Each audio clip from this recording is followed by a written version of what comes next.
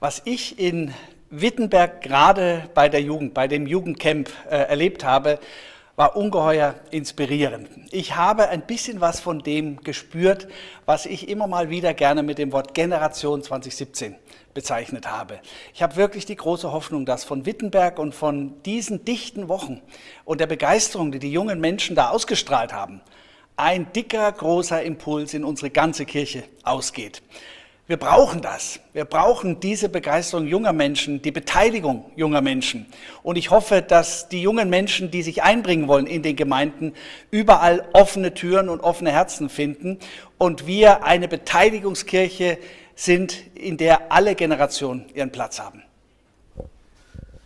Ja, die Generation 2017 ist für mich ein perfektes Beispiel dafür, dass Beteiligung in der Kirche, wie Sie sagen, Beteiligungskirche, ähm, gelingt und dass es äh, Spaß und Freude macht, sich zu beteiligen und die jungen Menschen, dass man denen auch ruhig was zutrauen darf. Das ist ja auch nicht so selbstverständlich vielleicht, dass man sagt, wir möchten, dass Jugendliche selbst den Reformationssommer gestalten. Da gehört ja auch ein bisschen Mut zu, das denen zuzutrauen. Aber das ist dieses Jahr geschehen und die haben es äh, wunderbar ausgeführt. Im Konfi-Camp haben sie gar nicht aufgehört, den Gottesdienst zu feiern, den Abschlussgottesdienst. Und das ist für mich die Generation 2017, die uns zeigt, dass Beteiligung auch von jungen Menschen in Kirche wunderbar gelingen kann.